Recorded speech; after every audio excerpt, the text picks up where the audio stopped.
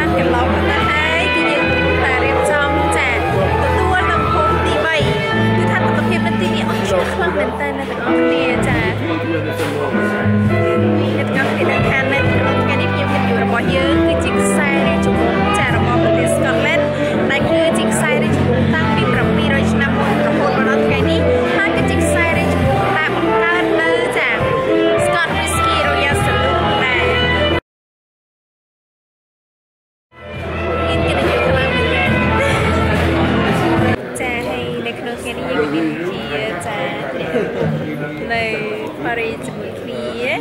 មានរមានណែណៃស្បាយស្បាយទៅពីធ្វើពីស្បាយមិនជាស្បាយខ្លាំងចា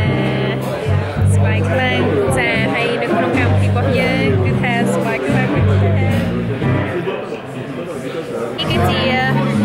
មុខម្ហូបទី3របស់យើងចាគឺទ្រុំទាជាមួយនឹងប្រកប